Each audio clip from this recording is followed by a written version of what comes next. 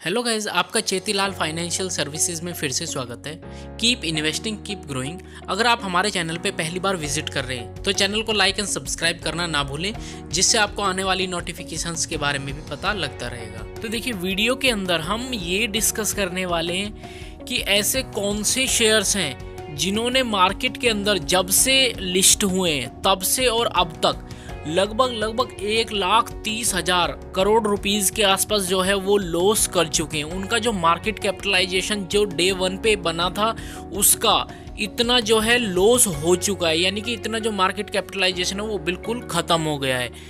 तो देखिए मैं इससे पहले बताना चाहता हूँ कि देखिए, बहुत सारे आईपीओ मार्केट के अंदर आते हैं, बहुत सारे लोग दबा के पैसा भी लगाते हैं उन आईपीओज के अंदर। और देखिए, वहीं कुछ आईपीओ ऐसे भी होते हैं कि जो बहुत अच्छा खासा परफॉर्म भी करते हैं और कंटिन्यू ऊपर भी जाते हैं, लेकिन वहीं बहुत सारे आईपीओ ऐसे भी आते हैं मार्केट के अंदर जिनका एक आने से पहले बहुत ज़बरदस्त बबल क्रिएट कर दिया जाता है।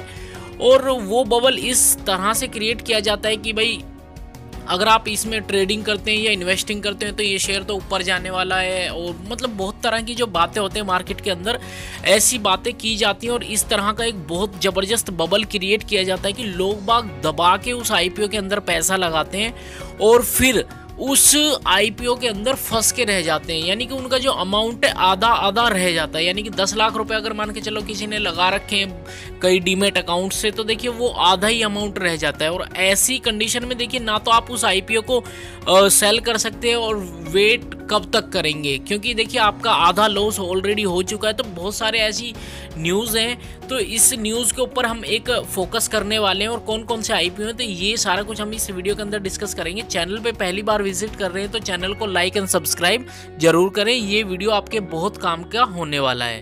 तो देखिए, ये न्यूज़ भी आपके सामने अभी फ़िलहाल आ चुकी है। तो देखिए, ये जो आईपीओ हैं पेटीएम हुआ, नायका हुआ, पीबी फिनटेक जोमेटो तो देखिए, इन सभी शेयर्स ने आईपीओज ने करीबन करीबन एक लाख तीस हज़ार करोड़ रुपीस के आसपास जो है लोस्ट कर चुके हैं ये, जब से आईपीओ आया है मार्केट के अंदर। तो देखिए जैसे जैसे जो अर्निंग होती है, वो मिस हो जाती है। जो अर्निंग के अंदर लॉस होता है तो उस टाइम पे जब आपका पैसा डूब जाता है तो पेशेंस टेस्ट की जाती है।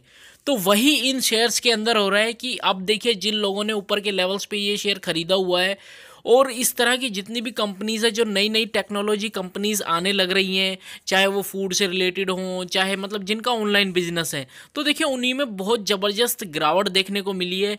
जैसे कि हम पेटीएम की बात करते हैं, या फिर नायका की बात करते हैं, या जोमेटो की बात करते हैं, या पी फिनटेक की बात करते हैं, जिनमें लगातार बहुत ज़बरदस्त गिरावट देखने को मिली, और जिनका मार्केट कैपिटलाइजेशन इन चारों कंपनीज़ का तीन लाख करोड़ रुपीज़ के आसपास था पहले दिन। दिन।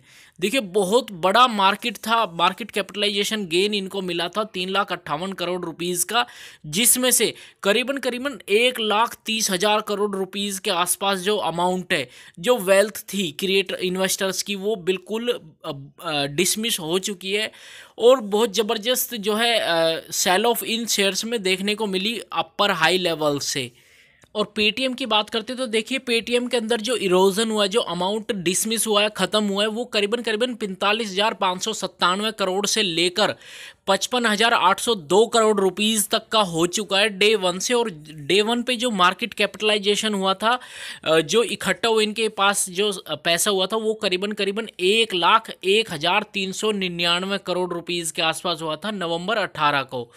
तो देखिए, बहुत अमाउंट जो है इरोज हो चुका है ऑलरेडी और अगर नायका की बात करते हैं तो देखिए, नायका के अंदर जो अमाउंट खत्म हो चुका है, वो करीबन करीबन तैंतीस हज़ार करोड़ रुपीज़ के आसपास हो चुका है।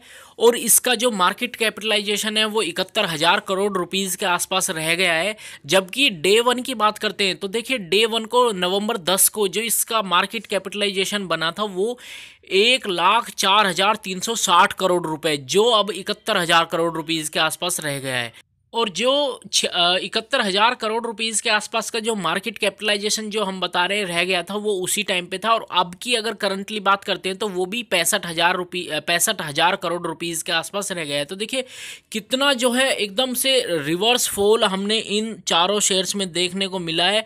और पीबी फिनटेक की बात करते हैं तो इसमें भी देखिए मार्केट कैपिटलाइजेशन बहुत ज़बरदस्त लॉस इन शेयर्स में हुआ है। और देखिए, इनका बहुत ज़बरदस्त एक बबल क्रिएट किया गया था कि भाई पॉलिसी बजा पेटीएम का आईपीओ आ रहा है पेटीएम का आईपीओ आ रहा है जोमेटो ये, वो। तो देखिए स्टार्टिंग में जिन लोगों ने पैसा लगाया, वो अभी तक भी अपर के लेवल्स पे जिन लोगों ने खरीदा हुआ है वो अभी तक भी इस शेयर के अंदर फंसे हुए हैं। और अभी हम बताते हैं कि देखिए, इसका जो अभी इसमें कितनी एक स्ट्रेंथ हम कह सकते हैं इन पर बची हुई है अभी भी। तो पहले हम बात करते हैं, देखिए पेटीएम की। तो देखिए, अगर पेटीएम का लास्ट ट्रेडिंग सेशन देखते हैं तो उसमें भी दो परसेंट के आसपास इस शेयर के अंदर गिरावट थी। और आठ सौ के आसपास शेयर ट्रेड कर रहा था। और देखिए, ये पच्चीस नवंबर को सत्रह सौ अट्ठानवे रुपये का हाई बनाया था। वहाँ से आठ सौ तैंतीस रुपये ऑलमोस्ट देखिए आधा हो चुका है। और, इसके देखिए कुछ, अगर हम इसके रिजल्ट्स को उठा के देखते हैं तो देखिए जो टोटल असेट थे कंपनी के मार्च 2020 में एक लाख तीन हज़ार करोड़ के थे, जो कि अगर हम 2021 की बात करते हैं तो इक्यानवे हज़ार, यानी कि देखिए टोटल असेट में भी गिरावट देखने को मिली टोटल रिवेन्यू भी घटता हुआ दिखा और प्रॉफिट आफ्टर टैक्स की बात करते हैं तो वो भी यहाँ पे घटता हुआ दिखाई दिया है। और अगर हम बात करते हैं नायका की तो देखिए नायका का जो लास्ट ट्रेडिंग सेशन था, वहाँ पर शेयर प्राइस तेरह सौ सत्तानवे, यानी कि देखिए पचास रुपये के आसपास शेयर गिरा, साढ़े चार चार परसेंट के आसपास। और देखिए चौबीस सौ सैंतीस रुपये छब्बीस नवंबर को जो इसका हाई था, चौबीस सौ सैंतीस रुपये वहाँ से ऑलमोस्ट देखिए, तेरह सौ रुपये आ चुका है। करीबन करीबन हज़ार पॉइंट का, ये शेयर टूट चुका है और फाइनेंशियल उठा के देखते हैं। तो देखिए टोटल एसेट सात हज़ार पाँच सौ चौदह करोड़ के थे मार्च 2019 में। जबकि मार्च 2021 की बात करते हैं तो यहाँ पे टोटल असेट बढ़ते हुए दिखाई दिए देखिए, तेईस हज़ार करोड़ रुपीज़ के आसपास टोटल असेट हुए हैं। और अगर हम प्रॉफिट आफ्टर टैक्स की बात करते हैं तो प्रॉफिट आफ्टर टैक्स तीन हज़ार चार सौ अड़सठ करोड़ से पंद्रह सौ करोड़ रुपए आए। तो देखिए प्रॉफिट लगातार कंपनी का यहाँ पर घटता हुआ दिखाई दिया है और रिवेन्यू भी रिवेन्यू बढ़ता हुआ दिखाई दिया है कंपनी का जबकि। लेकिन प्रॉफिट आफ्टर टैक्स से आ, मतलब होता है मीन्स तो दूसरी बात आती है पीबी फिनटेक तो देखिए पीबी फिनटेक सात सौ सैंतालीस रुपये के आसपास ट्रेड कर रहा है। लास्ट ट्रेडिंग सेशन में दो ढाई परसेंट ये शेयर टूटा हुआ था। और अगर हम इसके, देखिए टोटल टॉप हाई की बात करते हैं तो चौदह सौ सैंतालीस रुपये से लेके सात सौ सैंतालीस रुपये आ चुका है। लगभग चार सौ, पाँच सौ पॉइंट की पॉइंट ये जो शेयर है, टूट चुका है। और अभी भी, देखिए, गिरावट इन शेयर्स के अंदर बरकरार है। और पैट की बात करते हैं तो देखिए, मार्च 2019 में 245 करोड़ रुपए के प्रॉफिट आफ्टर टैक्स पे थी, जबकि मार्च 2021 में 619 करोड़ रुपए के प्रॉफिट आफ्टर टैक्स पे आई है। कंपनी के लिए ये पॉजिटिव संकेत है। बात करते हैं जोमेटो की। तो देखिए जोमेटो एक ऐसी कंपनी है जिसने अपनी एड के ऊपर बहुत ज़बरदस्त पैसा खर्च किया है और उसका जो फ़ायदा है, अब कंपनी को दिखता भी दिखाई दे रहा है। लास्ट ट्रेडिंग सेशन की बात करते हैं तो चार परसेंट के आसपास शेयर टूटा हुआ था और पिचासी रुपये के आसपास ये करंटली ट्रेड कर रहा है और एक सौ साठ रुपये से पिचासी रुपये ये आ चुका है। ऑलमोस्ट देखिए, इकतीस परसेंट के आसपास का जो है लॉस इस शेयर के अंदर हो चुका है अपने टॉप हाई से। और इसके फाइनेंशियल्स की बात करते हैं तो देखिए जो टोटल एसेट थे कंपनी के मार्च 2019 में चौंतीस हज़ार एक सौ चौंतीस करोड़ रुपीज़ के थे, जो कि सत्तासी हज़ार करोड़ रुपीज़ के हो गए मार्च 2021 में। तो देखिए टोटल असेट्स में काफ़ी अच्छी खासी बढ़ोतरी यहाँ पर देखने को मिली है जोमेटो के शेयर में। वहीं अगर हम इसके टोटल रिवेन्यू की बात करते हैं तो देखिए तेरह हज़ार नौ सौ सतहत्तर करोड़ रुपीज़ से इक्कीस हज़ार एक सौ चौरासी करोड़ रुपीज़ के आसपास कंपनी का जो रिवेन्यू वो आता हुआ दिखाई दिया है। प्रॉफिट आफ्टर टैक्स की बात करते हैं तो देखिए दस हज़ार का प्रॉफिट था मार्च दो हज़ार उन्नीस में फिर तेईस हज़ार का हुआ प्रॉफिट आफ्टर टैक्स फिर आठ हज़ार का हुआ। तो देखिए यहाँ पर प्रॉफिट आफ्टर टैक्स में अभी भी जो है गिरावट देखने को मिली है।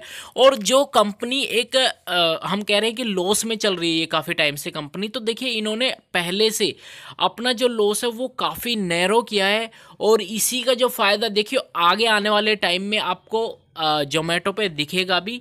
बाकी बात करते हैं कि भाई इन इस तरह के जो बबल वाले जो आईपीओ आते हैं उनमें पैसा लगाना चाहिए या नहीं लगाना चाहिए? तो देखिए आपको जब भी आ, हमने ये क्लियर पहले भी काफ़ी वीडियोस बनाई हैं इस चीज़ के ऊपर कि जब भी कोई बबल वाला जो आईपीओ आता है और बहुत ही ज़्यादा मार्केट के अंदर उसकी जो है न्यूज़ एक सेपरेट कर दी जाती है कि हाँ यहाँ इतना बनने वाला है इतना बनने वाला। है तो देखिए, अगर मान के चलो आप आईपीओ के अंदर पैसा भी लगाते हैं और देखिए जब आईपीओ के अंदर पैसा लगाते हैं और जब कोई भी बबल वाला आईपीओ आता है तो देखिए एक बार तो वो ऊपर उठता ही उठता है। तो उस कंडीशन में करना क्या है आपको? देखिए आप आईपीओ के अंदर पैसा भी लगा देते हैं और जो प्रॉफिट आता है देखिए लॉन्ग टर्म का बिल्कुल भी ना सोचे। अभी के जो फ़िलहाल हाई पी आ रहे हैं क्योंकि देखिए जितने भी आई आए हैं ऑलमोस्ट सभी आ, अपने तीस तीस चालीस चालीस परसेंट जो है सारे शेयर अपने हाई से टूट चुके हैं।